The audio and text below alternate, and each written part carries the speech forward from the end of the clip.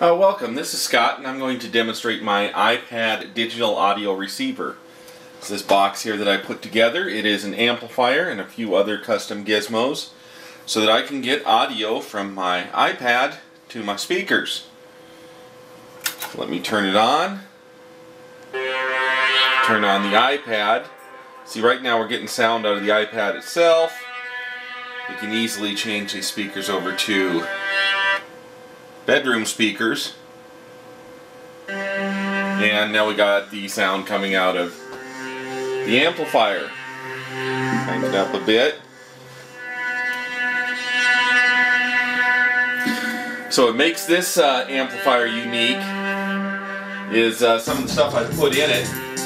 And for example, here we have a couple of uh, Russian IN13 Nixie tube uh, VU meters because I like to uh, have a visualizer of the sound. It's also uh, internet activated, so I can uh, I can use the web browser.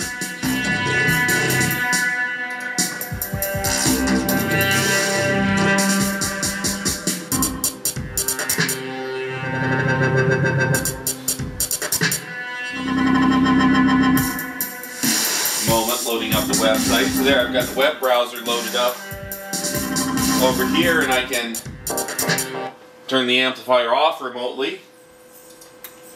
I can turn the amplifier on remotely. And I used a uh, motor pot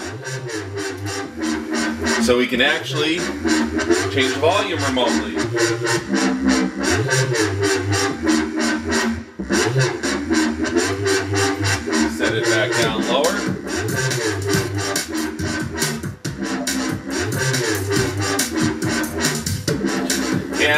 Is it. So currently these three buttons I'm not using for anything yet. This is the on-off switch.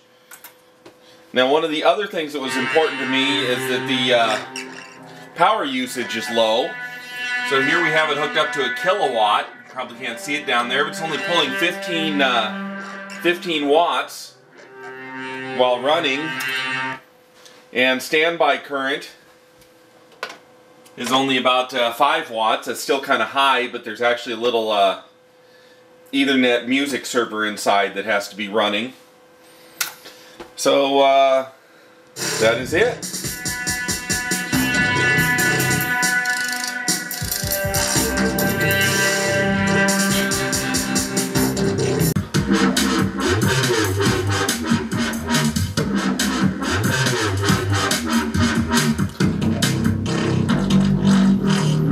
Take a quick look inside. So this uh, project is unique. Let me turn it down a little bit. In that a lot of the stuff I have not built myself but had to get from outside sources. So in the middle here we have a uh, mini amp, mini DSP, and mini digi stack. This is the amplifier.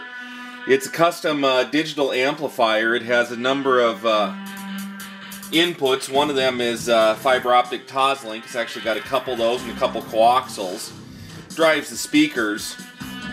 And it's being fed by this uh, Apple Airport Express. That is the gizmo that's getting the actual music into the amp. So we've got a little uh, short fiber optic cable between them, Ethernet feeding in the back. Over here we have a couple of driver boards for the IN13 uh, Nixie tube displays. Uh, these actually came from a, uh, a guy in France, I believe, the circuit boards, and I assembled them from his instructions. They work very well. I'll put details on how you can get yourself a couple of those boards up on the uh, website when I do a write-up. It's got a uh, special little chip in here someplace that is responsible for doing the uh, log logarithmic computations to do the VU meter accurately. So the nice thing about this is it's a continuous analog display. It's not your typical bunch of LEDs. This is actually a vacuum tube continuous from one end to the other. Um, over here we have an Alps motor pot. Motor pot being a potentiometer with a motor mounted onto the back of it. Got that off eBay, and I had to design a little custom uh, breakout board down there when it's uh, wired up. The uh, brains of the thing is this Parallax uh, propeller circuit board. This is one of my standard boards that I designed, in this case, for a clock project. And uh, I used it over for this. It has a built-in Ethernet interface that's used for control. So we've got two Ethernets. One Ethernet feeding the Airport Express. The other Ethernet feeding the, uh, the propeller board. The propeller board has this little uh, cobbled together H-bridge that's used to drive the motor in the motor pot. Also has an A to D converter for reading the motor pot. That allows me to seek the motor pot to any preset that I want. Also reads the uh, four switches up there.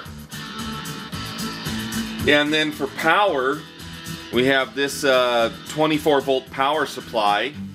I think it came from uh, Jameco. It's used to uh, power the uh, the amplifier. The amplifier takes a, a bit of current, needs several amps. And there's a little relay here. The relay is uh, controlled by the propeller to turn the uh, power on and off going to the amplifier. The driver boards here for the IN13 displays needed to have uh, plus and minus 15 volts DC. So there's a little uh, DC-DC converter board here, which takes our 24 volts and converts it to plus minus 15. Now what you're not seeing on here is there's a each one of these uh, driver boards has a switching power supply that generates like about 150 volts to run those two vacuum tubes. That's quite a bit of power. Uh, I think that's about all there is to show inside of this thing. Let me crank up the uh, the uh, potentiometer, give us some volume again. How about a little bit more?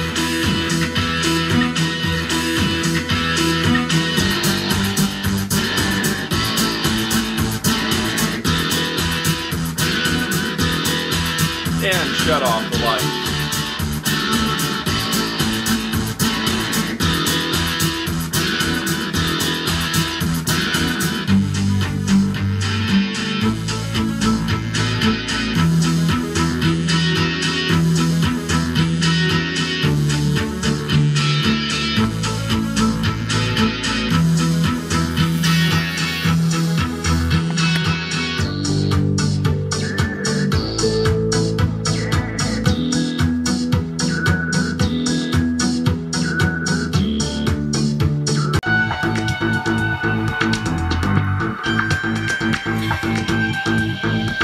Got it, so you can get a pretty good look at the, the VU display operating.